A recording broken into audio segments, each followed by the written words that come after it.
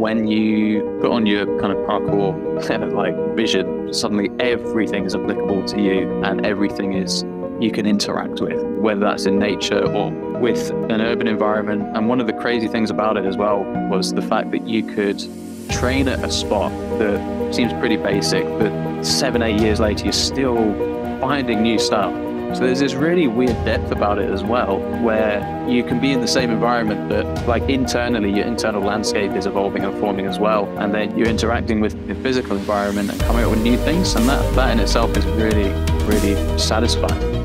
Hey guys, before we get to this week's episode, I wanted to let you know about an exciting development at Evolve Move Play.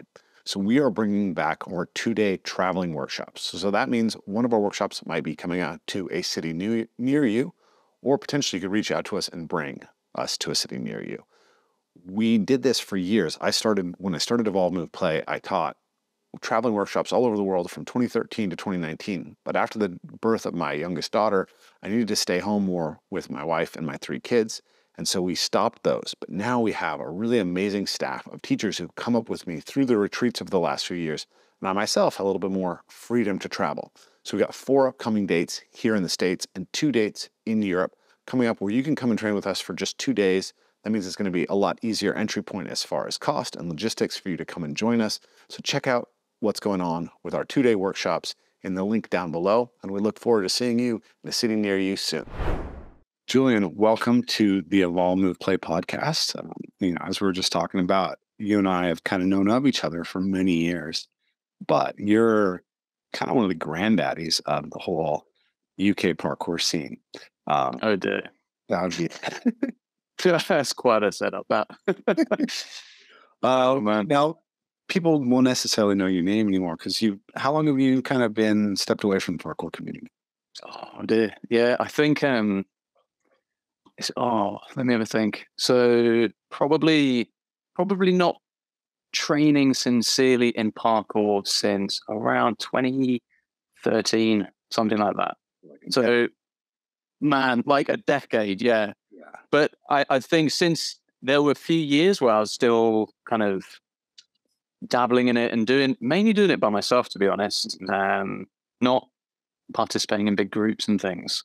Um, but to be honest, a lot of it was just because of injuries and things, and then getting sidetracked down different pursuits, physical pursuits. Um, but I, I, think I was on and off, and then haven't really done it for the past, you know, four years maybe. So like no parkour for about four years. Yeah, about that. Four years. Yeah. So I, I thought it'd be interesting to have a chat with you because I really admired the the early stuff that you did with the Cambridge Tracers and kind of the influence that you had on that on the community. And I think it's interesting to hear the stories of people who have uh, who've gone, you know, and done other things with their lives and kind of what their experience of parkour was and how it impacted them. And you also have a lot of insight into the world that like how parkour became what it is and how it's changed over the years. And my particular interest on this is really on the philosophical side of parkour, which I think is something that um, that was a lot more important actually early on in some ways. Hmm. And it is in many ways forgotten. And I think, uh, yeah, you might have some insight into that. And then I think even your career choice, I'm curious if that was influenced by the philosophy of parkour. Mm. So, yeah, um, that's kind of where I want to go. Um, cool. So let's, uh, let's start with that. Like, how did, how, what was important to you about parkour when you found it? You were in your mid teens when you discovered parkour? Yeah, pretty much. Um, I was 16 and it was 2003. Um, and basically, it was Jump London, the first airing of Jump London. And there's progressively less people that I know who started parkour because of Jump London. It's, yeah. uh, I don't know if actually kind of newer practitioners even know about it. I'm not too sure, but it was the thing that really, yeah, it was it was really the thing that brought parkour from France and exported it out of France. Um, and so I saw it, I saw like an advert for it on the TV, and I remember just walking into my living room and seeing some. I didn't even, I couldn't even tell what it was, if I'm honest. It was like had some shadows going across this, across the screen, and a couple of really cool jumps, and it just absolutely like fixated me. Um, and I made a note of when it was going to air. and put it in my diary, which is like the most organized I'd ever been up until that point. and then sat down and watched it. And it was Sebastian Foucan, uh, Jerome, um, and it was Johann Vigroux as well, the three main guys who were, you know, like the founders really of Parkour with Yamakasi and David Belle and everybody else. And so I, I think there's, I think in your life, there's often you can identify like things that are counted on what like one hand that kind of really smack in the face and resonate very strongly with you. And seeing that documentary did that to me because I just couldn't figure out what it was. It seemed like something where there was no rules and so much freedom. Um, and at the time, I think being a 16 year old, mm, like teenager, things like ninjas and SWAT teams and all that kind of stuff was like the coolest thing I could ever think of. And it had a lot of elements of that as well. And they often spoke about Dragon Ball Z, Bruce Lee. There were so many the Venn diagram of all the different disciplines that crossed over with parkour was was all really exciting for me. So um yeah, I kind of started off that. And the first thing that I did, my dad had a treadmill in the garage, and I was like, right, I'm, I'm going to go and do a run. So, like, I got on the treadmill and I, I tried to run one mile. I can't even remember if I made it. Um, and I was like, right, I've I've started now. This is the beginning. um, and then it was just a case of kind of going to schools and going on roofs of schools and spending loads of time trying to jump on and off picnic benches for months on end. and remember, uh, I, of calming the picnic bench. That was yeah, real. That was like an initiation. Yeah, and if you did it lengthways, it was like whoa. yeah, never mind widthways. So yeah, that was kind of um. So it's weird. I don't know. I, th- I think you often don't know why you like things. They just sort of call out to you. Um, and sometimes when when you try and describe why you like a thing, if you if someone asks you, "Oh, why do you like your wife?" It's like I don't know. It's kind of I think it's kind of difficult to yeah. Um, I'm not saying parkour was like like my wife, but just it's it's difficult to say why I was so attracted to it. Um, but I just was, and and obviously there was a small contingent of people that eventually did grow who were attracted to it in the UK at least. I um, so I was already teach. I'd already been doing martial arts since I was like six. I was going to say, man, how about you? Yeah. yeah six years old was when I started martial arts, and I had had a big transformative experience in martial arts. And then I got into gymnastics after the 1996 Olympics. Um, and then I kind of did that off and on. So I was I had become a teacher of gymnastics, and then I saw mm-hmm. that on Avance Toujours at VU, right? Uh, mm. And that was the one that sparked it. My older brother actually showed it to me. Is that the one where David Belle is uh, just looking really badass? He's got his kind of Asian music in the background, and he's it starts in the dark, and you can see his back. Right. Yeah. It's, oh, that's right. Yeah, yeah, yeah. He's actually in the gym. That's right. And he's like doing acrobatics and he's doing martial arts. That's right. Surreal. And then then it cuts to a actually reused footage from Speed Airman. But uh, that's right. That was that's real for me, man. And it was interesting because I started standing on rails in between classes, uh, just like bouncing on rails in between classes. Um, but I had a, a buddy who we weren't even really friends at that point. We just knew each other through the uh, the uh, adult open the adult gymnastics classes, and he was already doing mm. parkour like stuff. So I told him about it, and he um, he went and looked at the videos, and then went to the office and grabbed my number and called me and told me to come out and do stuff with him. And he actually already had climbs and jumps and routes all around the city. Ideal. That's really that one was yeah. feral. So it was like you know, you're uh, you know the Daniel Ilabaca yeah. particular era there. she take me out and chill. Yeah, yeah. That's great to have a bit of a template because that was the that was a weird thing, just not having uh, having videos like yeah. that, um, Speed Airman and things. You're looking at it thinking, what the hell? You, you couldn't fathom how that was done. And then the gap between where I was then and that was like yeah. an unimaginably big chasm that you didn't really know how to cross. So that's great that you had someone. Yeah, there's a bit more yeah. Yeah. It's, it's, I think it's very interesting. It's kind of like an under, like nobody really talks about this phenomenon that there were like people who kind of did parkour, they never stopped doing parkour as kids.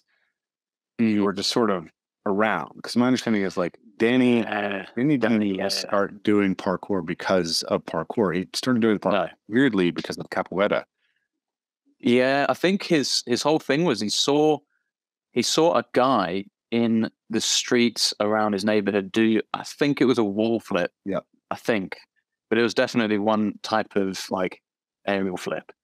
And then he was like, Oh, I'm gonna do that. And then uh, yeah, as you say, he started doing capoeira and stuff and just because the first time I saw Danny's videos, it was his level was Yeah. just so far advanced, and nobody could really figure out why because everyone else had only just found out about this thing called parkour. But it was just doing, he was just doing it anyway, which was just insane.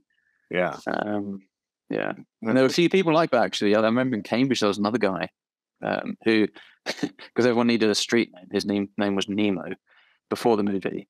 Uh, and again, this was one of those just hyper athletic kids, had never done um, gymnastics or, uh, as far as I know, any athletic background, but was doing backflips off telephone boxes, wall flips, and would just just learn stuff on concrete. Um, and and there were a few of these weird characters knocking about.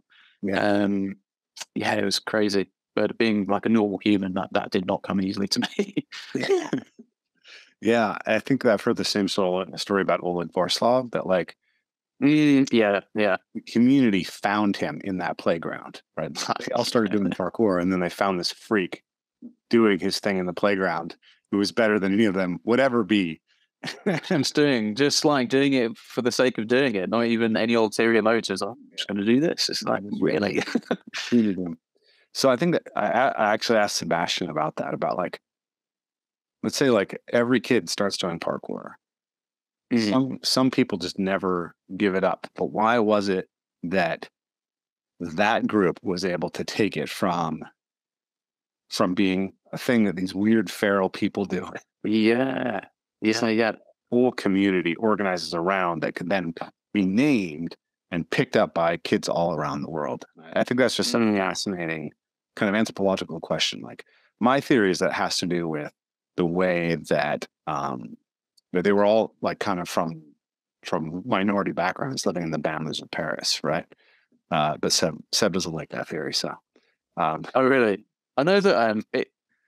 I, I think David's father had like a really. He must have had a really big driving force as well, because I think there was. I mean, you, you never really know these things, but reading and hearing from other people, it seemed like he was what at least David was trying to emulate, and so there was this kind of north star that seemed to carry him forwards, and then other people yeah, I guess, gravitated around David in a similar way. So, um, and, and then trying to express all of the skills that he's learning through parkour in a practical way by joining the fire brigade and the military and all those kinds of things. Um, yeah, it it's, it is a weird one though. Um, how it how it did get exported because there must be a lot of kind of fledgling movements and things that just die out. You think about uh, Dogtown and Z Boys who started kind of skateboarding after not being able to surf, and they were just some dudes attaching wheels to their surfboards, and that could have just been like, "What are we doing?" But Yeah. yeah, that's another thing that just now look at skateboarding. So it is odd the kind of conspiracy of uh, events that lead to something like that, quite a countercultural movement springing up. It's cool. It's an interesting question. I mean, you guys. Uh, uh, trying to remember, wasn't there like a building movement in Cambridge that predated the parkour movement? Yeah, there was. There was. Yeah, the came. I think they were just called the Cambridge Climbers. I'm good. My memory is going to be a bit hazy, but there there is a book that has been published, and it was in. These guys were. Yeah, a lot of them were in academia at Cambridge, Mhm. and I believe some of them were kind of not within that field as in that realm as well. But it was around kind of.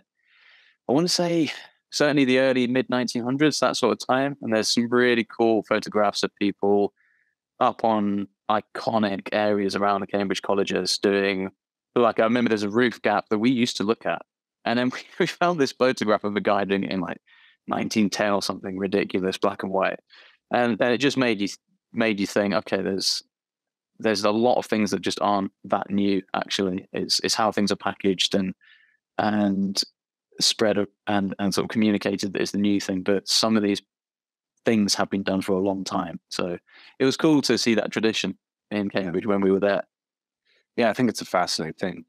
Um, let's let's talk a little bit more about your background. So you, you know, when I found your work, you were or found your your training, you were really attached to kind of like to uh to Owen Colville, right? It was Jen and Owen and the, the just like that. Serious. Um, yeah, which seems like a team name, but it, it was always just you as first I could tell. It's just uh, yeah, yeah, my nickname and his real name, yeah, yeah. Um, and uh, so you guys kind of like, how did you meet Owen? Did you know him before you started parkour? Or? No, it was one of these uh, friendships that you get from parkour. Um, I didn't know him at all actually. So he he lives in Cambridge as well. He lived in Cambridge, um, and I think we met through a guy who was already doing a bit of parkour a bit earlier than us, um, but stopped very soon after we met, basically. Um, and I think there was a bit of urban free flow forums facilitating this as well. And um, yeah, we just we just hit it off, man. Like uh, we we spent a lot of time training together. We were at different schools, different um, I guess what would you call them, high schools at the time, sixth form colleges. Um, but one guy who will, will hate the fact that I mention it, but he needs a mention because he's a bit of a he's an unknown character in Cambridge parkour's development.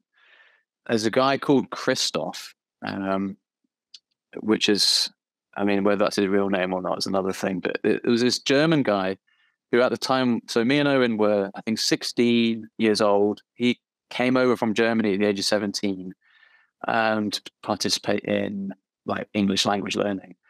And he had been training with, I think at the time he'd already trained with people like Joe Ego. Um, he'd trained with some of the French practitioners as well. Yeah. Um, I don't think kind of the original guys, but you know, he, he basically came over with this air of mystique about him. Um, so we trained with him a lot, and he he's he's really the genesis of things like landing silently. What we what we tried to coin the Cambridge stealth landing. we were like, we need a name for this move.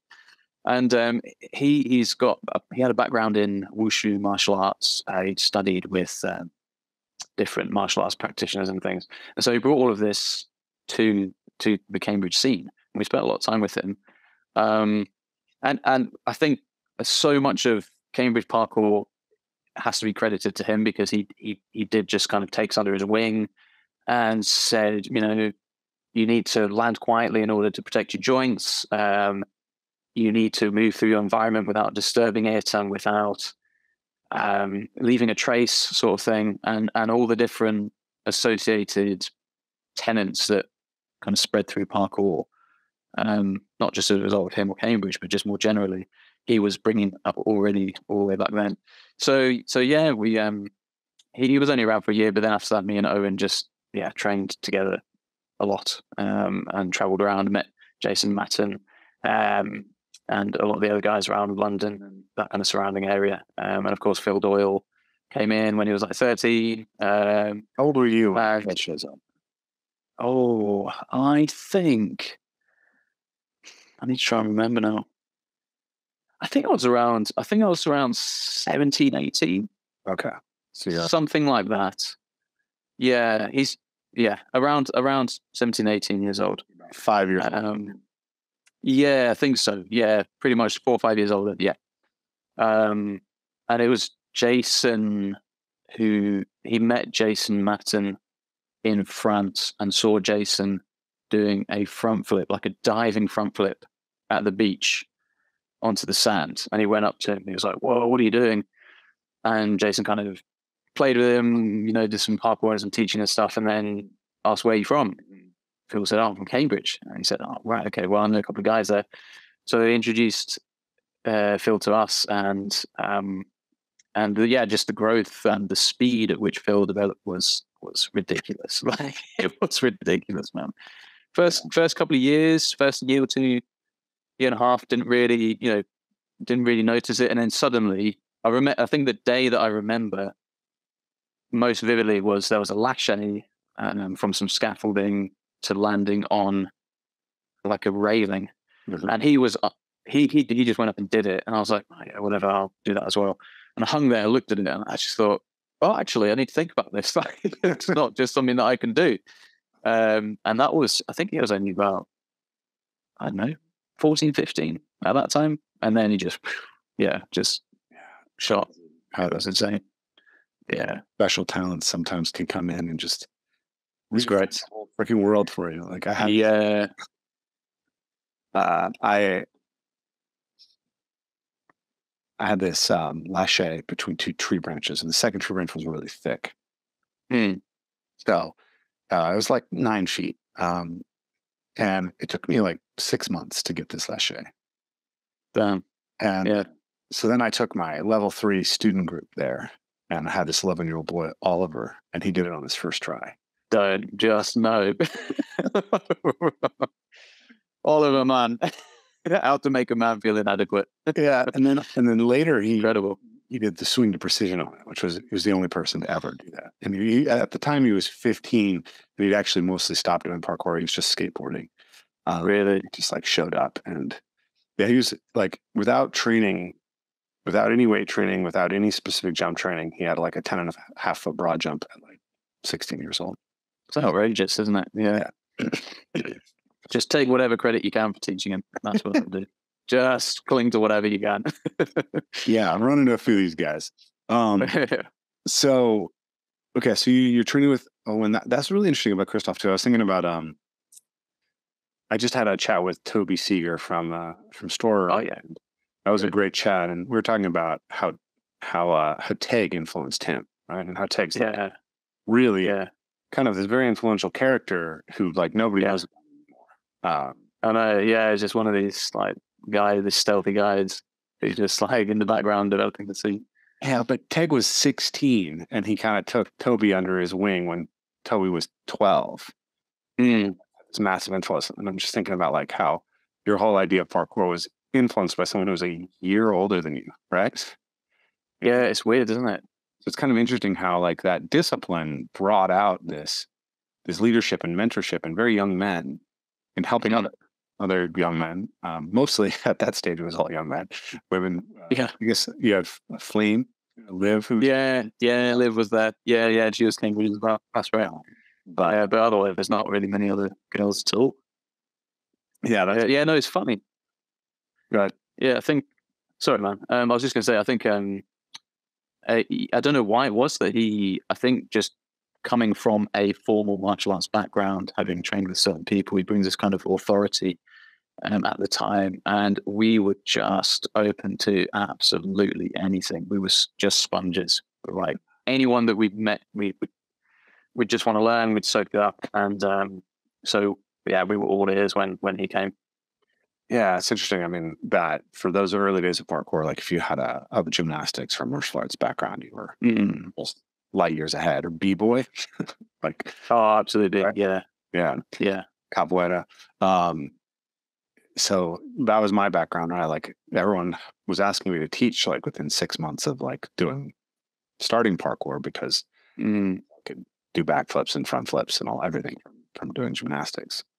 That is light years ahead at that time. I I remember when someone was it Concept of Dash? Some guys in is it Netherlands or somewhere in some Scandinavian country did like a, a palm spin Yeah, and um, published a video of that. It blew everyone's mind. And then the wall spin was next. And yeah, just the the edges with a boundary with when, within which everyone was practicing was so small, and someone would like edge it out, and he'd go, "Oh," and then and eventually just kind of just started to blow up like this. Um, but it didn't take much for someone to like really stand out at that time. It was, it was great. The stuff that's considered really basic now, or you know, Yeah, a lot of young men who can, you know, uh, a lot of young men and women who can do a corkscrew, you know, um, at Mhm. 13 years old. It's like a, a base trick, you know, like a, I remember it was like, Yo on the road could do it. You know, That's it. ridiculous. But, you know, another skill that I think that I've actually been working on a lot recently is just dialing my climb up, right? Um, Oh yes, yes. Fond memories of just doing counter climb ups. Yeah, great. so in the early days of parkour, I I just destroyed my elbows doing climb ups. So Mm. I couldn't couldn't put the, the the work in to do it. And then when I went out and in nature, I, I realized that like in nature, you never find a flat wall with a flat ledge on top. It's like basically everything in nature is either much harder to climb up on or much easier. Very rarely you find that like exactly climb up level. Yeah. And it's mossy and all this kind of stuff. Whereas we'd be in town being like, wow, we need to find the perfect lip so you can do a all in one climb up sort of That that British brick is really nice, man, when it comes to climbing. Super sweet. So Um, it's- that's funny what you start to appreciate. It's like Yeah. all your friends are going out, getting kind of drunk and doing whatever, and you're like, "Oh man, this is great. the texture on this wall is fantastic. Like, what am I doing?" aficionados, urban wall. Uh, the uh, so yeah, so so anyways, I for a variety of reasons, basically, um, I've ended up training in this uh, indoor ninja gym a lot recently, and they've got some walls that are great for climbing. So I'm like, okay, I'm gonna dial the skill in. Finally, just like uh, it's been a it's been a process, man. Like I like I I started really working on it last last year, and then I took the summer off because I was outdoors teaching, and then uh, Mhm. Then I got back into it this fall. So I've taken my climb up from like two seconds down to 1.4 seconds. I'm trying to get it down to like one second flat for the climb up. That's that is rapid. Yeah, that's a big It's, it's big drop in the time. I don't even. Thing is, I can't even. I've never measured the time of a climb up, so I have no idea. It, it sounds fast, basically. Like it's all right. fair enough. I think all the good guys now are like between 1.1 and, you know, like they're around one second flat for a climb. Is this how uh, granular things have got now that we have Yeah. standards? You know, you got bench and deadlift standards, the body weight. We've now got that for climb ups. Wow. Okay. I mean, I think if you're Interesting. Oh, I'd like to. parkour athlete at this stage, like you have to have like a standing broad jump, you know, near 10 feet. You have to be able to do a climb up Interesting. you know, in around a second, um, Mm, that kind of thing. that's that's crazy. but uh in any event um I, was thinking about it, I was like i think that yours were some of the first mounts that i saw that were bilateral straight up to like landing you know with relatively straight arms and everyone else was going chicken wing elbow up elbow on right and Chicken wing.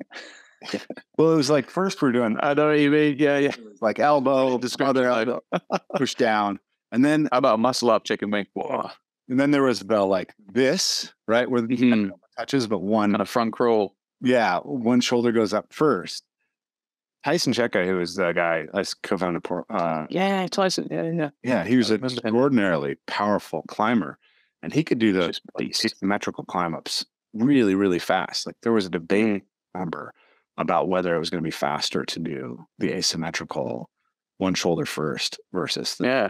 lateral, and then A lot of his videos, he used to wear, if I remember correctly, like jeans. He used to Yeah. train in jeans and just, just doing these huge, like really fast, powerful runs in jeans. I was like, Yeah. They're doing, built different in America, man. Like, Tyson was definitely built different. Uh, yeah. Do you do you remember that? Do you remember getting that skill and like was that a unique in the community? Um, yeah, I def I was quite I think I was quite consciously trying to get better at climb ups. Um, I don't know why.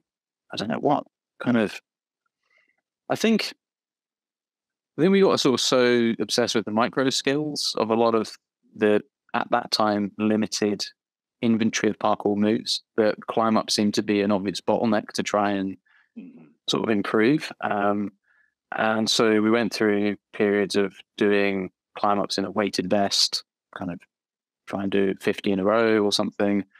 But probably, you know, looking back, substandard way to kind of get more power for a single repetition movement. But at the time, it was just greasing the groove and doing it so much.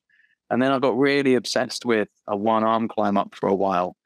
Um, and somehow didn't get tendonitis, which was amazing. But I managed uh, I not on a fully, fully flat, but like a slight lip, um, sort of. It was a real chicken wing though, and then a dip and that sort of thing. But um, I just, yeah, I just had spent a lot of, a lot of time uh, doing a lot of climb ups, like a big opportunity cost for other things in my life, I suppose. But it was, it was something that, uh, yeah, we we did, we we kind of grilled each other on and took the piss out of each other if we thought something was sloppy with a climb up. Um, and because Cambridge at the time had a lot of development and construction going on. Mhm. There was often scaffolding all over the place. So we were really blessed to have tons of scaffolding really out of public view and in quite private little areas that you could just spend eight hours doing muscle ups and pull ups and um I don't know if what the real names, you know, the plyometric Di- dinos. How could I forget? Yeah, dinos. I'm talking about. So dino pull-ups um, and that sort of thing. So I think just yeah, just it was just volume and just enjoying it really. And then you know when you start to think you're getting quite good at a thing, you just do it more and more and more. Yeah. So probably to to the neglect of other skills that I should have been training. Um, but yeah, it was quite a it was quite a deliberate thing on our part, I think at that time. So I'm curious what time period that was because, like, I think around 2006 in the States, 2006, 2007, I can mm-hmm. remember basically there were three guys who could do clean climb ups. It was just Tyson, Levi Meeuwenberg, and Ryan Ford. And hmm. it was very fascinating because they were trying to teach other people to do it. And they were, and I noticed that what they were cueing people to do was actually not what they were doing. So oh, interesting. nobody had Yeah, nobody had articulated the role of the swing leg. Everyone was telling right. Coming out to get you the momentum up. legs Yes. Instead of Oh, the lower leg. I think they were just trying to sabotage everything else so they could keep the top spot. Like, submission both legs is crazy. yeah, but I think that you, you like you at really talented athletes, they just adopt smart problem solving, but they don't necessarily have Oh, absolutely. necessarily know they can't describe exactly what they're actually doing a lot of the time. Yeah, So, I like, think that that was something I realized way later, seeing different people and realizing teaching a thing and doing a thing are such different skills and being able to articulate those steps. Yeah, it's because you just assume, oh, you can do the backflip. Why don't you teach people? Like, you just underappreciating the absolute the difficulty in trying to teach something like that. they're not they're not knowing the how and knowing how to help someone else are not the same thing at all. Yeah, it's nuts. Yeah. So, so obviously, one of the big kind of themes of the early days was the uh, the war between the purists and the uh, freestyle parkourists, ignorants. Um, how did that all develop? Like you said, you met Owen initially through Urban Free Flow. I'm trying to remember now. It was um I'm pretty sure it was through a guy who was training in Cambridge at the time, but I can't remember whether we had a little sub kind of Cambridge. Forum on urban free flow or something. I think we did. Um, and people we did yeah, we did attract and get a few other practitioners through that. But um yeah, no, I, I can't remember the exact way that we met to be honest. Um but yeah, the the whole freestyle versus pure parkour thing was really interesting. I, I don't, I don't know what to kind of think about it really. I remember, so I remember that free running was how parkour was introduced to us via Jump London. That was how it was packaged. And then the more we sort of, do you remember parkour.net, the forum? yeah. Yeah. So that was, well, back in the day. yeah, fantastic forum. Really, really good. Um, and I think so many of the concepts and things that I learned was through that. And so, like, free running was the thing that was sold as, and then started to learn a bit more about um, parkour as the original discipline. Um, probably owe quite a bit to urban free flow with that, to be honest, as well, because at the time it was a it was a really cool, really positive kind of group and organization. And I think a lot of the UK's growth early on has has a fair bit to you know it owes a fair bit to urban free flow at the time, but then obviously it went quite pathological quite quickly. Um, It's funny to think in some way Paul Corkery was a positive contributor to the uh, right, world, world parkour community because I mean, urban free flow wasn't just for you guys. Like that's where we all found each other on in the Washington parkour. yeah, We went to the American sub forum of that's right. urban free flow and Washington parkour. So when I and there was a Washington forum. So when I first started in 2005, there were six guys who were communicating about parkour in that little forum. More than enough. Yeah. And so I went down to Seattle to meet up with these six guys. One of them promptly broke his leg trying to do a front flip after Dan and I did him. Uh, so like, Brilliant. we were down by, you know, what's one? Some percentage is quite significant. But seventeen percent of the community disappeared after the first jam. Uh, and then we found Tyson, who was down in Portland, and he came up and uh, you know became kind of the charismatic leader in a lot of ways.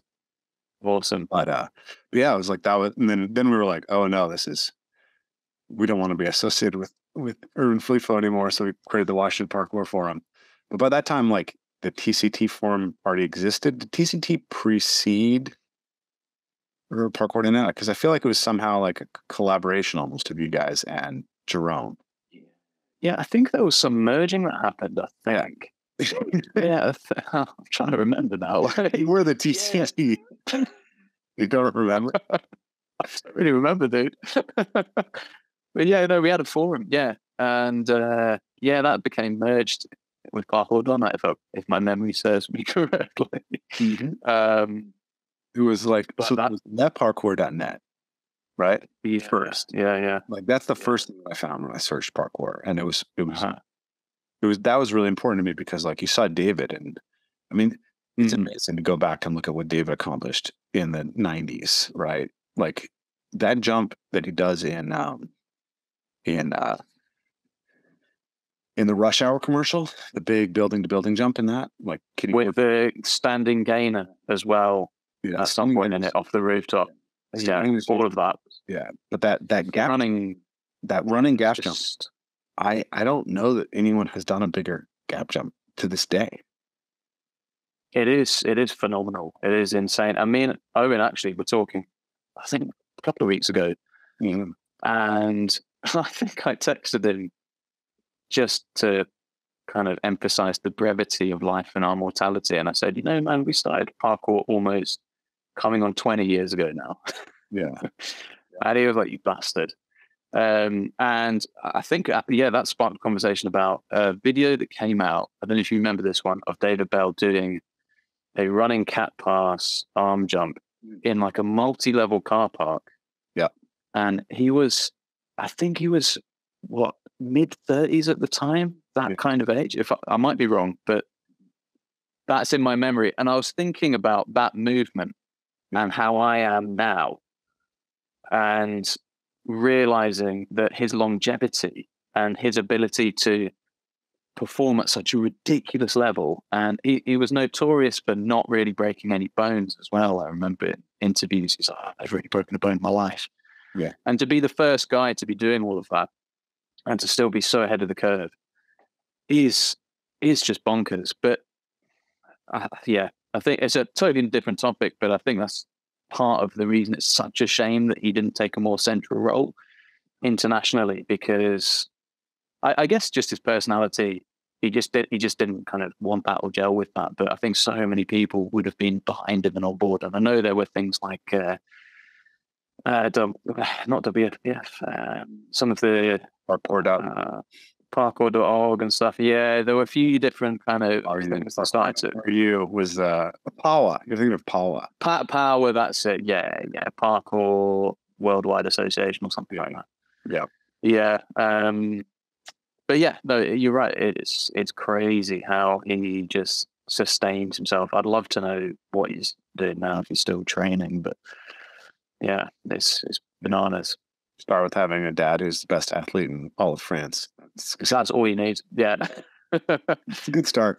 Um, yeah, I. But you know, I brought that up.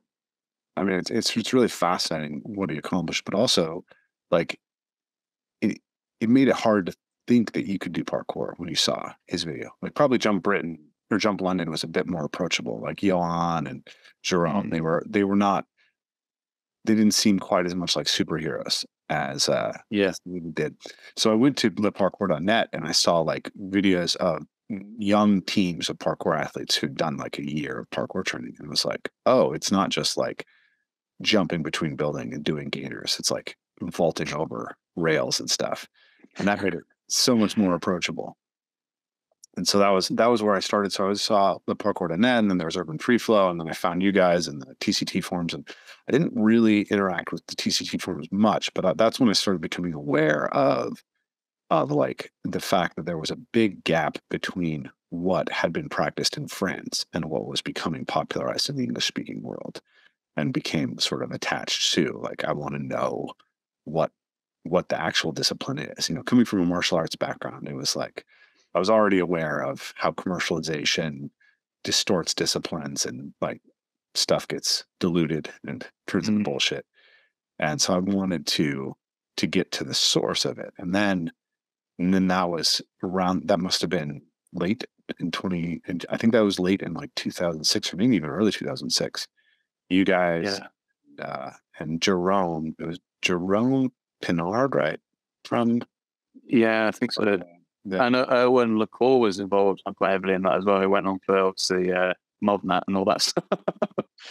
He yeah, just came out of the woodwork. It's like, who's this guy? Like, he's Yeah. doing all this crazy stuff, talking about quadrupedal movement and all this kind of stuff. That was mind blowing as well. It was such a funny forum. you remember his swimming parkour? I totally forgot about this. Yeah, that thread was just enormous. I uh Can parkour be swimming? Oh, what is he talking about? I uh I loved it. I um uh I've been getting into canyoneering. I think this is like a really cool like edge space for parkour athletes to go in and explore. Mm. and we have some really great canyons here in the northwest with the big mountains. So I uh, I found this spot where you can um, like jump between two boulders, vault off the second boulder, drop into a creek, um, cl- drop into a pool, climb up out of the pool, jump into another pool, swim across it, and water slide down into the next pool. Do another jump, Sounds rad. another jump, and then another water slide.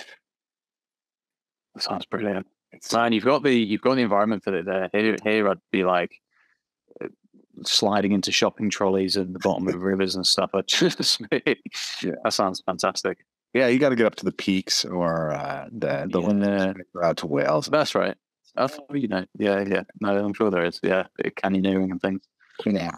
Uh, I've seen actually uh, one of my students, online students right now, is doing some exploration of the canyons up in the Lakes District. Um, Oh, super cool. Okay. when we go up there, I can introduce you, get you, get you up with Charlie. He's found some pretty amazing canyons. Oh yeah, man. Yeah. Ben Atkinson, another one of my friends up there, has found like tunnels through waterfalls like we have here, and some pretty sweet cliff dives. Damn, that's rad. Yeah, yeah, that sounds great. So yeah, so I posted that, and I was like, "Is swimming parkour?" was the title. Um, and Yeah. less than another one says, um, "I get the joke," but it still made me laugh.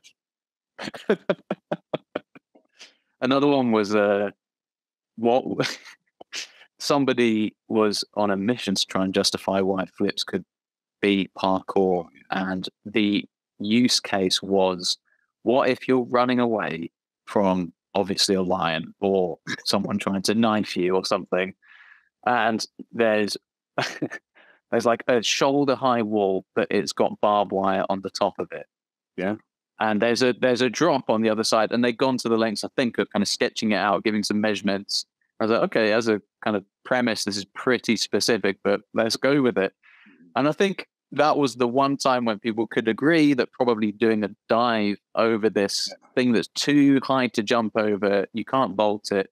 And then once you've done the dive, you might you might as well do a, a front somersault. Was probably pretty reasonable. But that's when people were so, including myself, was so blinkered to thinking it's not about the kind of the intention or the intent of the movement. It's more what move are you doing? Oh, you're pressing X. That means it's a front flip. No, that's not allowed in parkour. Which I think eventually people started to see past and think, why? Why are you doing the movement? It's not that it's because it's a specific movement. It's kind of what in what in service of what are you trying to reach a place or get away from something? That was kind of what it boiled down to, really. It's funny. I think there's a much simpler use case for that, the flip in parkour, like Oh yeah, hedge, right? Hedge is not bad. Yeah, you need a bit of a well. You need an object that you have to get up and over Uh, that you can't vault because it's too soft.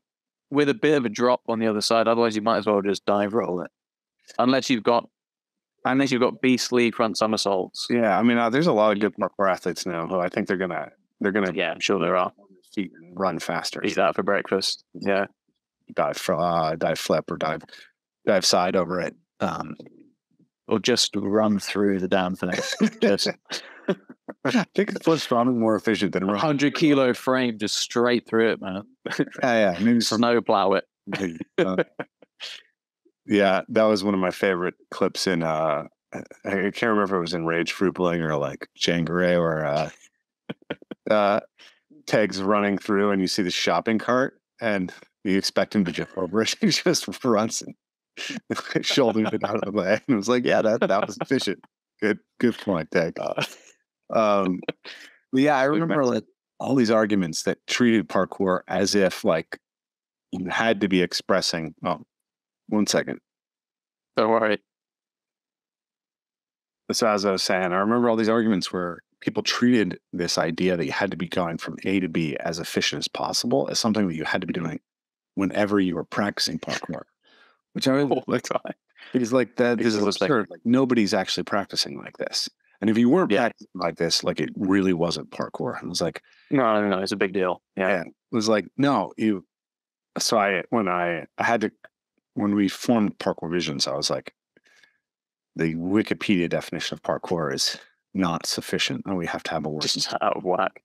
That was that was such a chew on, wasn't it? Trying to trying to get some consensus for what is parkour. But I, I'd actually forgotten how much of a how much of a hassle and headache that whole thing was. I think I think when Urban Free Flow, or more specifically Paul Corkery and Easy, decided to come up with um, freestyle parkour, that's when I'm pretty sure that's when me and Owen were just like, you know what, just whatever, man. Like we're just gonna do what we've been doing and just not care about why we're doing it or all the rest of it. And I think we got just so got so fed up with the whole thing. And I know a lot of people wouldn't say and just started saying, Oh, we're just doing movement, we're doing movement. And that was before Ido Portal and all that kind of stuff. So oh, we're just moving. And and obviously Teg with his rage frubeling and people Yeah. just thought, fuck it, can't be bothered with the name for this thing anymore. Because it's just yeah, That was such a funny thing for me because I remember like getting so mad at the just movement people. It's like this is such a floppy, just like the most like guilty as charged. bullshit I've ever heard. Like I remember Danny being like, "Oh, it's just moving, man." I was like, "Oh, fuck off." And then later, Just practicing live, man. around and everything's moving, moving, moving. I was like, um, Yeah. so I was like, well, okay, maybe I give Danny too much of a hard time. Um, but uh, I, I thought this was really funny with the freestyle parkour thing. Like, so there was free running and there was parkour. Are they the same thing? Are they a different thing? Right. Um, then Seb is the guy who forms the uh, the name free running, but then that's not really what he practices. It's like when we, when the whole community starts calling free running, isn't it all what Seb's into for practices? Yeah, yeah, and it was probably some not political, but some some other reason that the name was formed, and then people get so hung up on it, like, oh no, no, no we're doing free. So it doesn't matter. He, he just used that name because it's a it's more It was just easy to remember for parkour would audiences. stick as for English speakers. Yeah, yeah, yeah. was uh, the producer of of the Mike Christie, yeah, London, I think, who was like, "Yeah, we we got to have an English name," and Seb came up with free running. That's my understanding. if he would, yeah. and then people form their entire identity of it and get like yeah. down the rabbit hole. It's Yeah. funny. So then, then, then, then, then, you know, Urban Free Flow's like, we've got to announce it. We've solved it. We're gonna like all the problems in the community. It's gonna This to bed. Put this to bed. Freestyle parkour, universal hatred, right? If it's just like no, just flip the table. Yeah, just have got down at your words. Yeah, so then then fast forward right years pass and parkour uh, competitive formats of parkour come out and like right away basically we, we kind of go into a speed division like time trials and a style division and um and so we so like the guys from uh from origins parkour uh start having these you know they they have eventually skill speed style that becomes first the North American Parkour Championships, then the Sport Parkour League, and uh, and they're like, yeah, we don't like the term free running. It's like we should just call it freestyle parkour. fine, fine, it's fine. and I was like, guys, do you do you not remember when that was first? Full circle. Oh man, maybe he was on something. Maybe easy. Man, maybe yeah, I mean, I think at that point We should have given him the benefit of the doubt. yeah, I think at that point, Easy had. uh Well, I think it actually makes a sense in context now. It's a, actually a competitive format that people do. It's the freestyle. Yeah, of parkour. Yeah, fair enough. Fair enough. But at the Oh, time, it's just yeah, it's just too too too many too many uh just definitional like wankery to it, it was it was it, at the time it was kind of uh it was not addictive but you did fall into certain camps and find yourself being Oh. really like and I remember when people were um printing t-shirts with anti-competition and anti-competition I was involved in that. and, and yeah, yeah, and you had to copy that paste. the main architects, So the main oh, architects, yeah, pro parkour, anti competition, were me, Erwan Le Corre, and Duncan Germain, TK17. TK seventeen. That was not um, not one of my proudest moments. Um, to be fair though, Matt, you know, at the time, in hindsight, it's you think, you know, whatever. But at the time, it feels like an existential crisis that you're going through as a community. Is Well, it's a weird, weirdly. I mean, in a sense, it hasn't, it hasn't gone away. Like we've matured. There's more nuance and understanding of it now. But like, we still have FIG trying to hone in on what we're doing, and uh, true. I've heard about that. Yeah, yeah, that's true. And it does matter. It does matter because yeah, it really does because what yeah, what are you trying to transmit? And the original parkour that was sort of um, transmitted from France in you know not a very efficient way. It was more mysterious Chinese whispers about being really efficient and and reaching areas really fast and speedily and all this kind of stuff. That that was something that people really treasured, I think, at the beginning because it had a real obvious um, goal to it. It was, oh, and it had a lot of parallels with martial arts, which, which um, gave sort of a framework for people to practice within. Yeah. And if you don't have that, you're you're a group of people going out and hanging around building sites and just sort of jumping on and off things. Um, if you look at it as a pedestrian, you think, what the hell are these kids doing?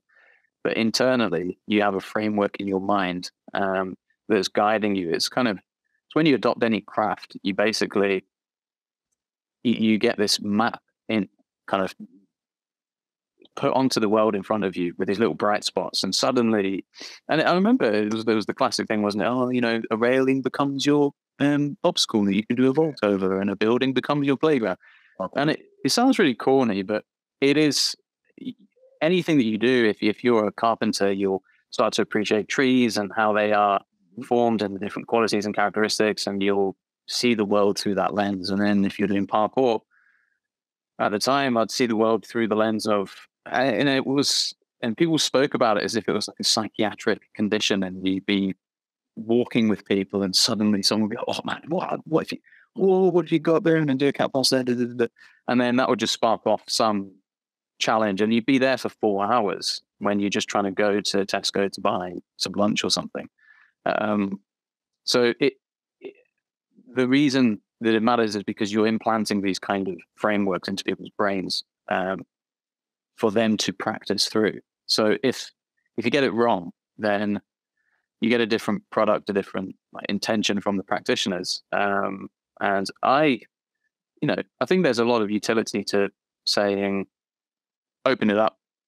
Movement is just whatever you want it to be, and incorporate everything. And I think ultimately that's totally fine. But I think when you're starting out on something, and I think the the benefit for me was that you have to have some framework and, and guardrails to kind of guide you down a path of development. Otherwise, you're spinning your wheels. Um, Yeah. So so yeah, I think I don't know what the state of things is now, but I know FIG's, uh, you know, peripherally is, I'm curious. is a contentious issue.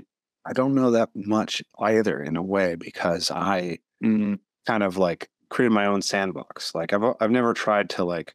nice. So I worked with Erwan on the development of MovNat back in 2007 to 2008. Oh, cool. Yeah. One of the big points of conflict between us was that he had decided that he wanted nothing to do with the parkour community. He he wanted to separate MovNat perceptually from parkour as much as possible. Um, and I was like, that's just disingenuous. Like Mm. Most of the skills you're teaching are literally just taken straight from parkour, and you're in Georges Hébert and all that, and the origin. Yeah, it's taken from George was- Hebert, but like I, I don't know the the full story of how, but like obviously, you know, there was a point at which he was really picking up from and inspired by and trying to emulate and trying to Mm. learn from, you know. And I mean I've heard that, you know, he's trying to claim that he was there with the original guys at, you know, private event. Really? Okay. obviously it had an influence. And so to me, the the, the attempt to sort of separate MovNat from parkour is really disingenuous. And so with, when I was developing Evolve Move Play, I was always like, it's it's parkour as a base code plus these other things that I want to bring in, right? Um, parkour taken back to nature plus martial arts plus plus play, research plus whatever. Um, and I always wanted to maintain that connection with it. But for a long time, it was like most of the parkour community wasn't interested in going into nature with me. And my the clients I was approaching or I was attracting came to me via Ido or via MovNat. Um, and so I kind of lost touch with what was happening in the dynamics of the community in a lot of ways. And then now I live in a small town where we have like we have a very interesting community of parkour athletes because we have like seven parkour athletes here in town who all have like a decade plus of experience. So we'll Hmm. go into the ninja gym. We all meet at the ninja gym, and it's like pretty insanely high skill group group of guys. Yeah. But there's like not really a young community, right? Like it's just and it's It's been quite nice. this group for a long time. It's nice in a way. I mean, you want you want it to be growing. One of the reasons I wanted to bring up about the Ninja Gym about why I think it's like we really do have to think about the sort of story that we set up and the the the, the definitions actually do matter. Is um like parkour has really struggled to attract a female practitioner base. You know, like in my That's true, isn't it? Yeah. Even even now, after Yeah. twenty years, Yeah. twenty years, man. 20 years in, I would say that it's still 90% male. Yeah. And I had kind of like, I'm I'm okay with the idea that men and women are different, and that's okay. Like I don't I don't think it Mm. has to be equally distributed. And I don't mind being in spaces there where it's just guys. It's very comfortable and nice sometimes to just be like, hey, but when I go out to do parkour, I get to just be in a space with other men, and that's nice. Um, Mhm.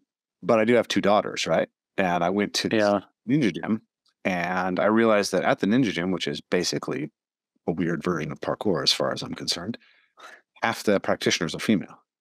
And they have this whole Ah. group of like 11 to 13 year old girls who are super skilled. Like their lâcher level is crazy. No way. What do you think it is that's different about that then? Like, why? I think it's because Ninja Warrior had a financial incentive to pursue a female audience from the beginning. And they And they did. female athletes. Yeah, they had good role models as well, didn't they? Because the females on that were just monsters, like absolute beasts. I remember I competed in 2011 at uh, Mm. Ninja Warrior, and I met Kacy Catanzaro um, at that, who was dating one of the guys from Tim's Free Running at the time. And so I was kind of following her as she was doing stuff, just just a little bit. I was like, oh, I'm curious. When I saw her name pop up with ninja stuff, I was curious about it. And then she became the first woman to ever do the warp wall. She was five foot one, and um, and the Bloody hell. the the television show did a huge feature on her, made a huge deal out of it, celebrated her accomplishing. And I think that attracted women in to Ninja Warrior. And then uh, obviously Jessie Graff now is like this superstar in Ninja, and she's an incredible athlete. And so I think there's a way in which like you can see how that creates a perception and an incentive structure that creates these self-reinforcing dynamics. And something about parkour created a self-reinforcing dynamic that's made it not as attractive. Mhm. And so I, I bring that up as an example just because if something like FIG comes in and it takes over the competitive format and gets a lot of high prestige events running that are very diluted forms of parkour, it, it will have an impact on the community. It will have an impact on on what's incentivized, right? The the Mm. I don't know if you've seen the the FIG competitions. They have. Uh, I I've, I've seen like one or two Yeah. clips, and I was like, that's enough. so they, it- I mean, it's kind of cool because they have races where it's a it's a one v one race where you're Mm. where you have a series of parkour obstacles and you race to the uh, to one side and back, right? So in theory, like being able to set up a course that's the same on two sides that two athletes can go down is exciting and cool. But the course is really boring. That's it. Yeah, that's what really struck me. It was like no imagination around the obstacles or yeah. It was it was it was like uh, just a really beta version of parkour. If someone described it to someone over like Morse code and then they have to make parkour, it's like, well, I kind of I think that's about what it is. Um, but it just loses that richness. Um, yeah, and, and I guess there'll be I- I, suppose they'll be also optimizing for um, reproducibility and scalability and all of that stuff rather than just making something really, really cool and authentic. And it's easier to have simple obstacles and and uh, get your branding right and all that stuff. So If you tricky. the uh, the SPL competitions in com- Mhm. uh, in comparison what the guys from Origins put on and like the the level of thought and detail and unique structure that goes into each speed run that they give to the athletes Mm. so much more compelling it's so much more of an expression like like it, it- when i look at the course that that the FIG guys are putting on i don't want to go train on it right As an backside, isn't it? this looks boring. yeah. right? When I see something Origins put on, I think, if I was good enough, that looks incredibly fun to do. I just Yeah, that's a really good heuristic, isn't it? Like if you want to go there and train on the stuff, yeah, or you want to be around the people who are doing it Mm. um, and involved in the competition, that that means that it has been put on with the right intention by the right people, um, and who have skin in the game and know what it's like from the athlete's perspective, and they're not just viewing it from the audience's what they imagine the audience would want's perspective. Uh, it doesn't sound like they've got that right. But if they, you know, if they if it's in the Olympics, right? And the athletes that they see win at the Olympics are are the athletes that the next generation is admiring them. And this is this is this goes back to this other kind of topic that I think is interesting is okay, I keep thinking about how unique it felt to do parkour in the aughts, right? Like how it was it did feel like life changing stuff, right? It did. Yeah, it did. It really did. Um, that's very true. And it's hard to kind of put your finger on it, really. I think that there's definitely something to be said for being around a an activity that is fairly formed and you're part of its evolution. That's super exciting. And uh, I mean, there's not many things where you have the opportunity to do that because most things in the world are pretty established, and a lot of things that do newly get formed are trash because because most most new th- you know Most new things suck. yeah most new things like it's hard to get something that's uh like like most businesses fail it's hard to get something that really stands the test of time and is really valuable and really good. And so to be involved in something like parkour's development um insofar as seeing it come over from france and and and kind of experiencing it growing up was super exciting. And and i think the the most uh, some of the other really appealing things for me were I was always crap at like team sports and kind of crap at just conventional sports um, in a really, a really big way. Actually, the only thing that I really enjoyed and gravitated towards in school was trampolining.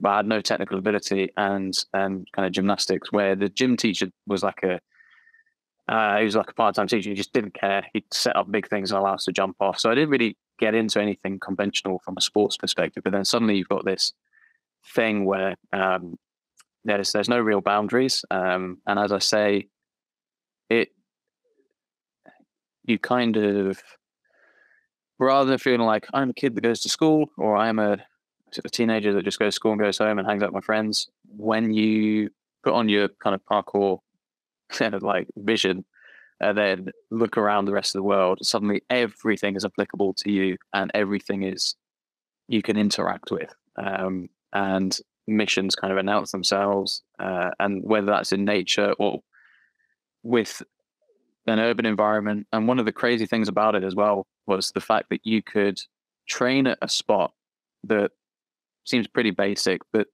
like seven, eight years later, you're still finding new stuff. So there's this really weird depth about it as well, where you can be in the same environment, but like internally, your internal landscape is evolving and forming as well. And then you're you're interacting with the physical environment and coming up with new things. And that that in itself is really, really satisfying. Um, and just I don't know, man. It's weird. It's I, I can't really express why it was such a like a, it did feel like a sort of unique thing to be able to do. Um, yeah, I think it's an edge, right? Like anytime you're in an edge yeah. space, that's an exciting space to be in. Also, like Mhm. what you're saying about the how you can see the world in a certain way, and then it can can continually get depth to it. Um, that reminds me a lot of like the the kind of research I've done on Jordan Peterson's work and John Vervaeke's work about what gives meaning to life, like the meaning in life literature, has Mm, aspect of like what how are you able to connect with the world? And like you said like a carpenter sees wood and sees what it can be turned into. A parkour athlete sees the environment around them and sees the way they can interact with it. And it that is literally like just a source of meaning. Like there's literally more meaning in the environment for you as you walk through it because you did parkour mm, because you do parkour. The other aspect of it that I've been thinking about is also specifically in reference to something uh, Jordan Peterson was talking about recently is this idea that like we have these developmental stages and then we go through, you know, as children and then young adults. And like what we do as we're kind of moving away from being primarily defined by our relationship with our parents to primarily defined by our relationship with our peer groups is we want to adopt a group identity. Mhm. As we as we start to individuate, there's a messianic stage where you want to become, you want to save the world. Mm, Part of what was happening with parkour was like the entire community was made up of people in the group identity stage and the messianic stage. For so, yeah, I can think of some people others. Yeah. and and so it, it had this sense that like this is who we are. It's central to our identity and it's world changing. Both Mm, it actually is really fundamentally valuable and important. And it was, we did discover something like it's really weird that there was skateboarding, surfing, snowboarding, mountain biking, rollerblading, which are all basically locomotion through the environment. But nobody had developed the discipline of just locomoting through the environment without any, mm, any, um, it, it, it didn't have any like large cultural cachet. Bouldering was a thing, right? Bouldering to me is just parkour on a very narrow set of obstacles, right? yeah. Yeah. Yeah. A limited set of obstacles. And so, like, yeah, it was like the most fundamental form of play was somehow undiscovered, and we discovered it. Um, Mm. I think that's why. I think that mu- must partly be why. Thinking back, some of us, including me, were quite defensive about the utility aspect of parkour because that was part of the meaning. Yeah. Um, the, as you mentioned, the messianic stage, like I need to save the world and do something valuable and bring value to the world. It's like, oh, be strong to be useful. If I somehow, if I train this weird niche activity, I could be useful. And so buying into that gave this extra layer of meaning, which, you know, is it's highly questionable when you look back on it in some ways, uh, in, in the way that it was sold to me, Yeah. insofar as, oh, you can you can uh, like sprint up some lady's house and stop the burglar from breaking in or do something practical, but it's more the psychological tools that you develop wh- which can be useful. Um, but I think that just the idea tools are not unique to parkour. no, they're not. Absolutely, that's right. And I think that's certainly. And thinking back to Owen, that's that's what led me and Owen down different kind of activities to explore that because we started to realize that and became quite adamant that actually parkour wasn't special. So we went through this cycle of saying, "Oh yeah, really unique," and uh, yes, and then we came full circle and we were like, you know what, this is just another vehicle for self development. That things like, and we tried things like praying mantis kung fu, uh, um, other things like weightlifting, uh, climbing, bouldering, um, and then going down the entire sort of conditioning side of parkour, where people doing hell nights and and that side of things as well. And my parkour practice started to morph more into just a, a just a physical challenge for the sake of challenge practice, which is including. Yeah, that's true. Yeah, and and I think that's why I became more and more convinced, at least at that time, that you know it's oh, it's just about movement because all of this stuff is a vehicle for self development. Um, but but your point of parkour being so stripped back is free. You just need your body. You don't even need any clothes or shoes, although that might get you in trouble. Um, and you just need a space. Even even with like if you really push it to its absolute limit without any obstacles, mm-hmm. you'd be quite hard pushed. But as we mentioned before, there's a depth of finding new things within a certain space. And that is also part of the challenge of parkour. It's not, uh, what's the best environment I can find with all the coolest obstacles? It's no, what can you do with this environment that's in front of you? That's on you. And you take responsibility for for actually trying to create certain things and challenges. And and that was, I think, the best part about training with other people. And that's what I really missed later on when I was training because the the speed at which you develop and co-develop some weird challenge or mission in partnership with one or two other people.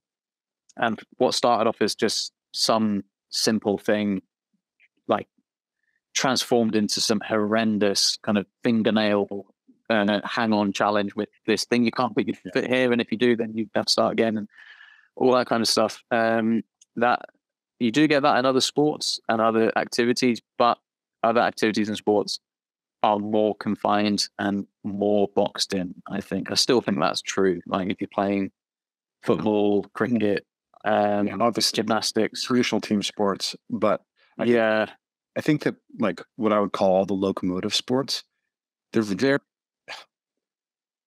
like obviously there's differences, right? Like you know, there's a way in which challenges come together in like one of the things about like Toby Segar was talking about how he really enjoys bouldering right now because yeah, feels like he can put 100% effort into bouldering.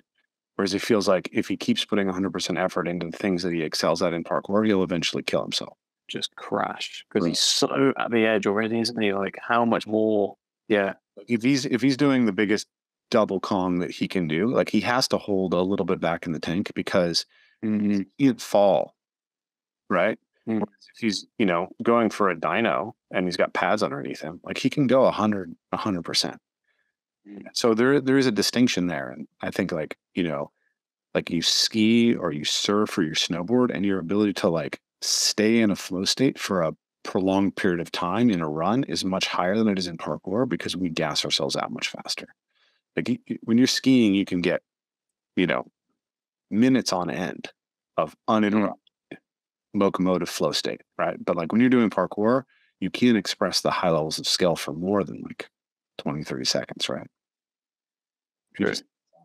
So there are distinctions. I think parkour is really cool because of how how well you can kind of articulate the aspects of fear.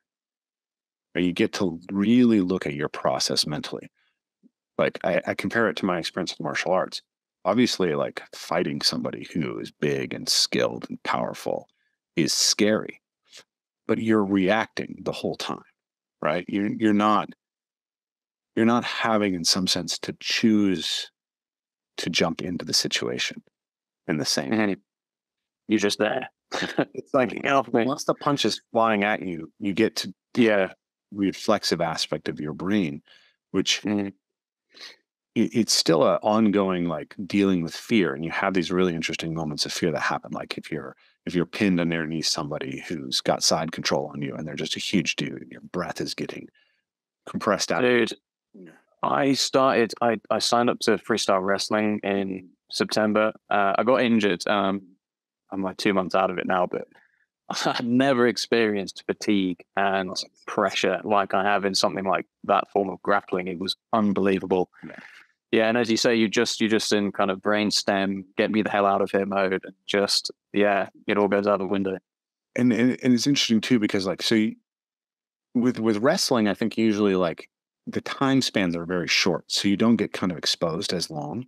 But like with with grappling, you actually ha- with like jujitsu, you have to choose to tap sometimes just because you're too tired, just because Yeah. too overwhelming. Because otherwise, you'll actually just I've I've done it. I've done it to myself. I've had panic attacks because I because I can't. It's air hunger, isn't it? Yeah, just like it's not that I couldn't breathe. It was that I I was I was struggling to breathe and I didn't feel like there was a way out. And Mhm. I was just stuck in that situation for sufficiently long that like when it came when when the situation ended, it was like my nervous system had just been completely destroyed, right? it's an insane feeling. Yeah, it's Yeah, insane it- feeling. you know, like it's like getting stuck in like a like a like a tunnel cave in or something, right? And you don't know Yeah, it is. Um, but but with parkour, like you have to choose to do the jump, right? So you go up and you stand and you look at this thing that potentially could result in you having horrific, catastrophic, life-ending potential injuries, and you're like, "Yeah, I'm going to do this." right, and then you're and then you get to, do I really feel like I can do this? Mm. and you get to walk yourself through the process of like am i too amped up am i too do i have enough energy for this and you get to really tell like really just it's like a really refined way of walking through the process of dealing with fear yeah, the self regulation that you need for it is, and that's that's how I always thought about.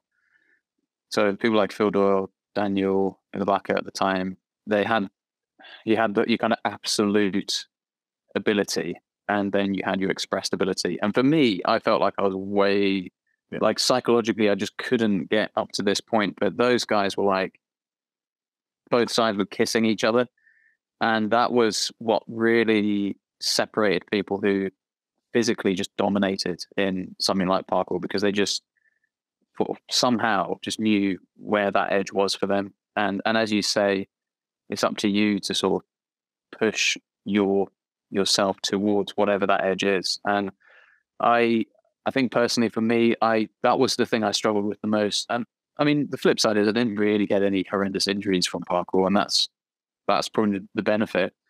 Um, but on the flip, I suppose on the other side of it, I never was in absolute terrifying, like mortal danger at any point when I was training parkour. A few times when, yeah, things can go wrong, and yeah, as you say, you can get horrendously injured. But, um, but that's a funny personal sort of journey that you do make, and I'd found that, um, you know, when Socrates talks about like the, his daemon, sort of the, the little voice in the back of the head, and and you see is the worst thing, and we spoke about this quite often. Me and the guys in Cambridge, you'd see something, and it would kind of attract your eyes for a moment, and if you settled on it for long enough, some bloody thing would click in your head that would just say, "That's a you can do that thing there," and you think, "You son of a bitch!" Like suddenly, like yeah it becomes this like this red unlocked level and then you have to go and unlock it. But the process of doing that but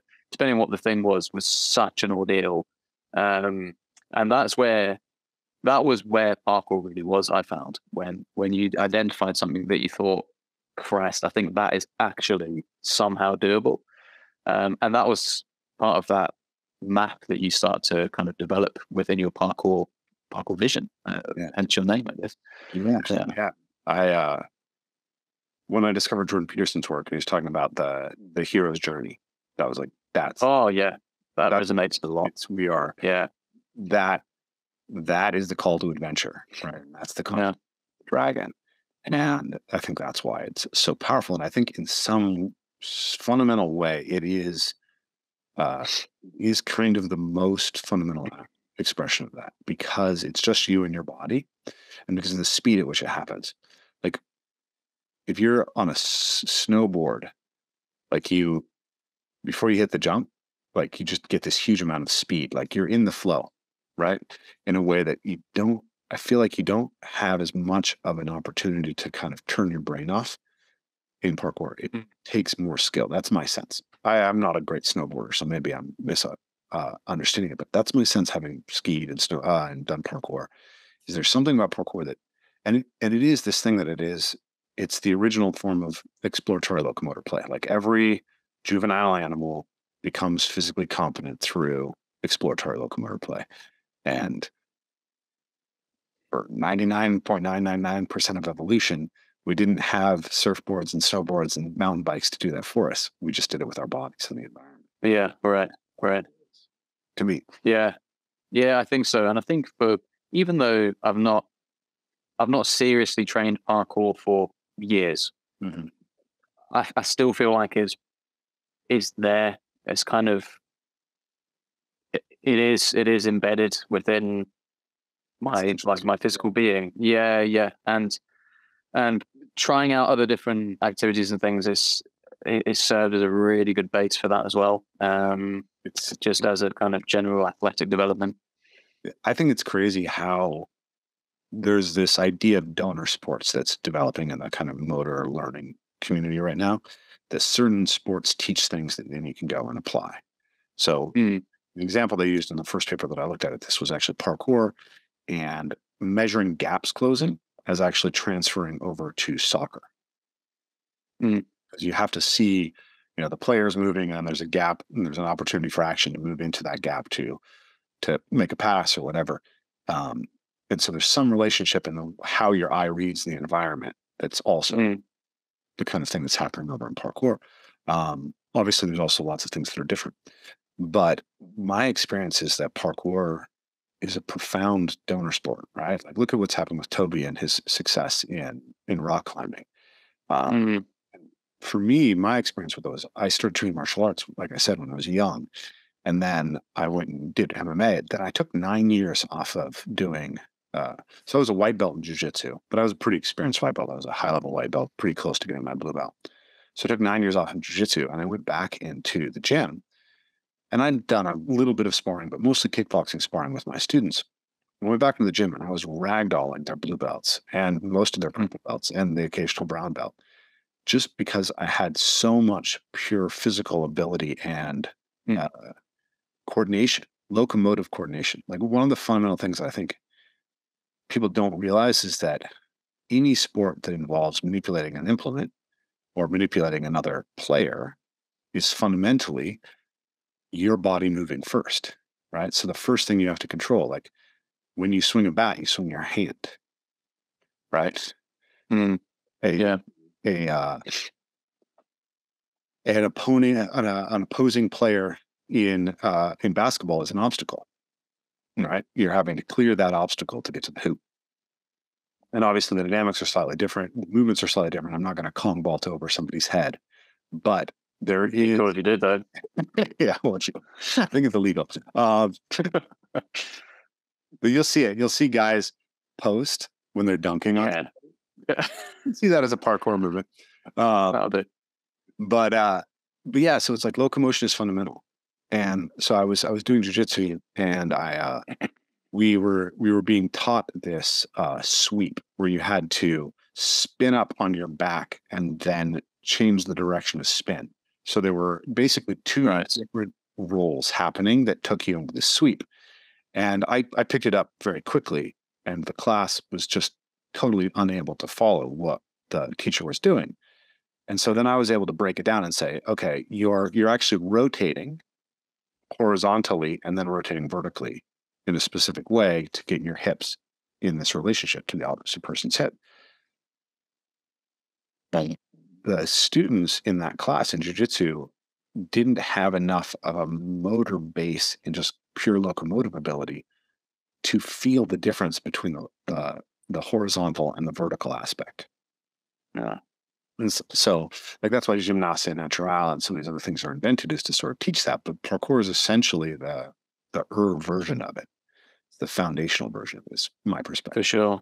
Yeah, yeah. And it, but you do see it work the other way as well, don't you? But but even then, I guess I'm just thinking of gymnasts like yourself, I suppose, but another gymnast that I met coming into parkour. But you see the sort of uh, baggage is the wrong word, but some of that that they bring in, and and Yeah, yeah, well, I think gymnastics is landing with parkour, right? Like yeah, parkour is just gymnastics with all the sort of like weird, not all of it, but a lot of the weird cultural trappings pulled off, right?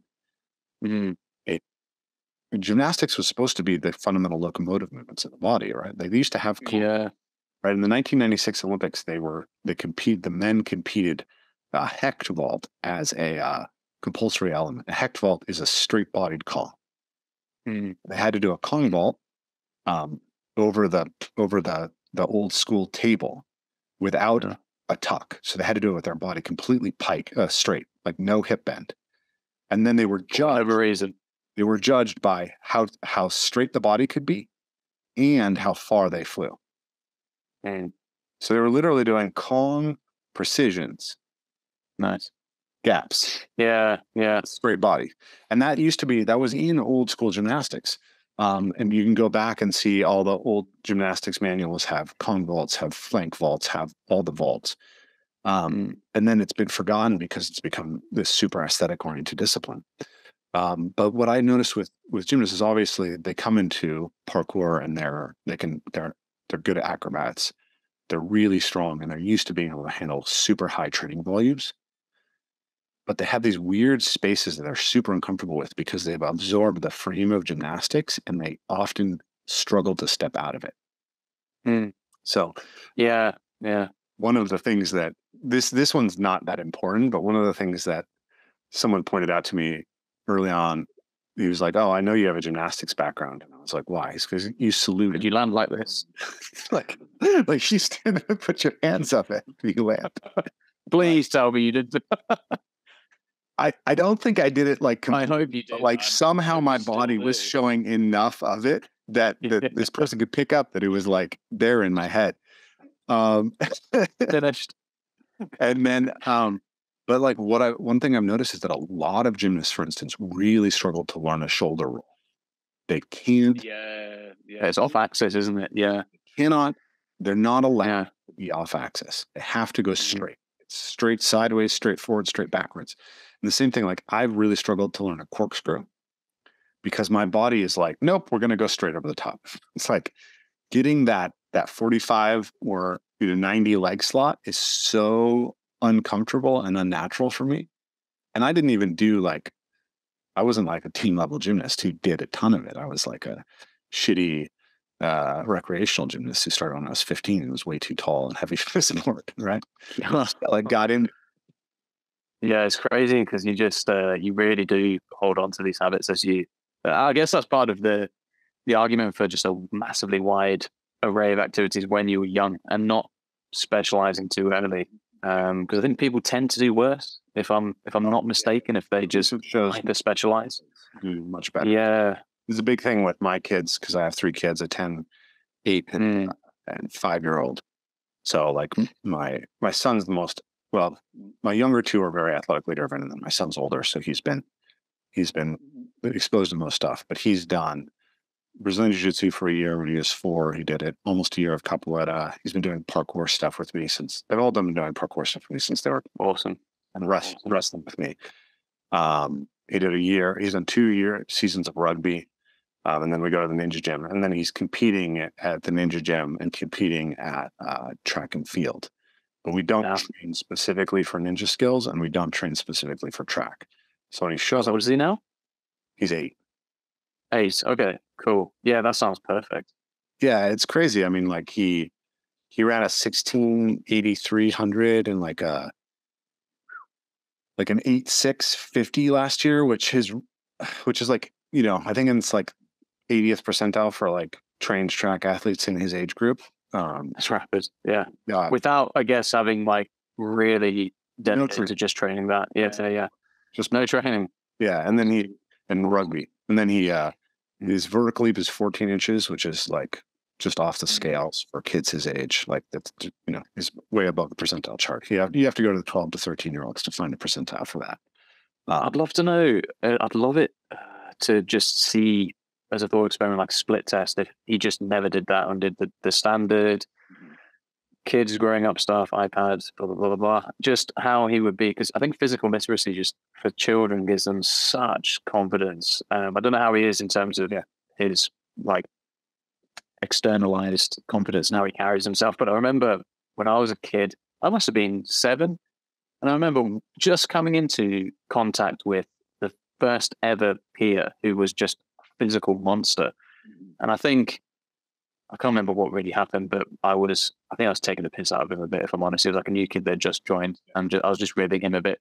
And he got me in some weird headlock, did some strange judo throw on the floor, and it was just like the level of confidence that he had, and he just cruised through the school because he had this ability to carry himself, and that stuck with me when I was even that young. Um, I think it's somewhere that we're really falling down actually with with with with kids not not having that literacy. Yeah. I'm writing it. I'm gonna. We just put up a blog post. We're gonna put up a blog post tomorrow. That's gonna be about yeah. managing my uh my kids' uh, physical education and about about why we're you know as a culture we're really falling down in producing uh, healthy people because they don't. Yeah. Trying to strike a balance between the over like pressured father. Yeah. the, the, father is just being encouraging and yeah. just trying to.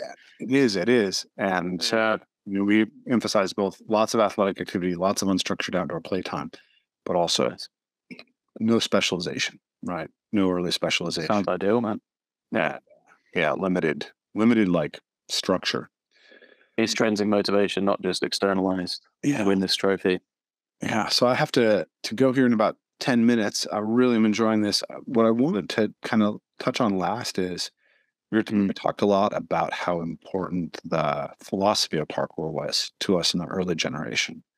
And like, uh, I think a lot of people went through the phase talked about where you're like, parkour is going to save the world. I'm going to be able to save people from a burning building. You know, like we're, we're training for this to like actually I'm probably never going to have to run away from somebody. probably never going to have to run away from save someone from a burning building. I've devoted dozens of hours. I've devoted like multiple hours every week to this activity that's basically just a hobby. What the hell am I doing? Oh, it's about the journey. Whoops. um, and and and like, how do I actually take that philosophy and do something with it? Right. I think you know, obviously, I mean, in my yeah. So like he went that Tag had his whole thing about that. But a surprising number is it feels like among the kind of really early generation, a lot of guys went into service oriented positions. Like you're a uh, doctor, right? Mm. Doctor. Uh, Chris Rowat, Blane is firefighter. Firefighter, yeah. Firefighter. I feel like there's quite a few of us who are like that, that be strong to be useful really got deep in and it mm-hmm. impacted their career. So I'm curious, do you feel like that was actually critical to your career choice or was it immaterial? Oh, it'd be nice to retrospectively apply that and say yes. But no, I think actually I knew that I wanted to do something with health and physicality in the broadest sense. Mm. Um, and, and that was definitely from parkour, without a doubt. That that kind of made that a priority in my career choice. And so when I was thinking about what to do, I was toying with the ideas of personal training, physiotherapy, becoming an EMT or a paramedic, uh, strength and conditioning, all those sorts of things.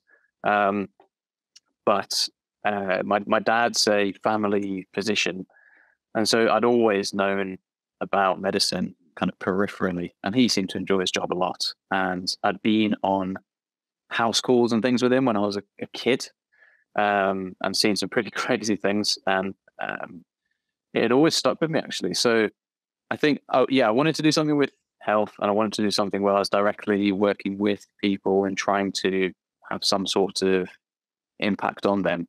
And um, and I, I remember when I was at university at one point, I was like, oh, parkour's great, movement. Da, da, da. I wonder if you could help people using movement, and that was kind of my starting point.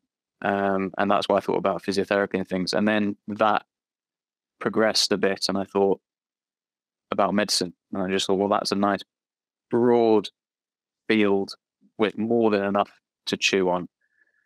And so, yeah, it, the the motivation for going towards medicine was, yeah, I guess it was rooted partly in wanting to do something useful um, and and just wanting to have something that was way, way, way, way bigger than me that would just I'd never be able to wrap my hands around and would just be an ongoing process of learning. That was another really deliberate thing. I was like, I need to be able to keep learning in whatever career I'm doing. And wants to be I want to do it in health, I want to do it with people. Medicine seems to be the thing to do. So there. So how do you feel like your perspective as a doctor within medicine has been impacted by that background in parkour? Like, how do, do you feel like you differ maybe from other people in your field because you carry that that background? By all means. I think now I do think that medics come from loads of different backgrounds. Like uh, there's people from the merchant navy. I've got a friend. Um, people have done jazz degrees.